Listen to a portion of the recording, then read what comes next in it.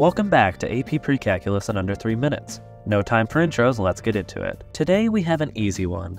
Topic 1.6 is all about end behavior in polynomial functions. First the notation, then how to find them. So let's start with talking about what end behavior is. End behavior is exactly what it sounds like.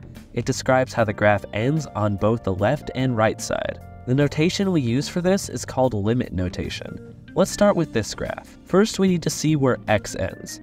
You see on the right, x increases without bound, and on the left, x decreases without bound. This means x will be going to positive and negative infinity. We write that in limit notation like so.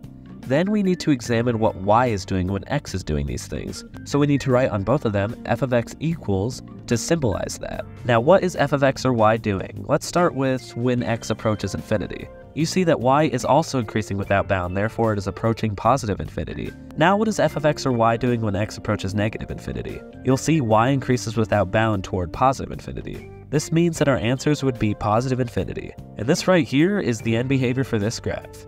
And real quick, before we move on to how to find this in equations, just so you know, if the end behavior has a minus in the exponent of it, it means the end behavior as it comes in from the left of the graph, and a plus means as it comes in from the right side of the graph. Now let me teach you a trick to find end behavior just from an equation.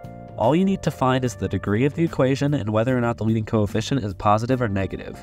Then just reference the table below. The fact is, you will always have at the start of your end behavior equations the limit as x approaches infinity and the limit as x approaches negative infinity.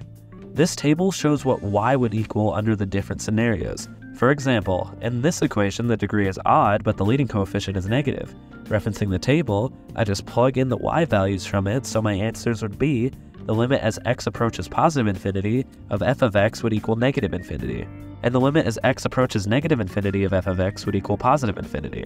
Memorize this table and you will be all set to go. Now on the screen now are all the questions you should be able to answer for this video. Pause now. I'll put the work and answers on the screen now. See you in the next one.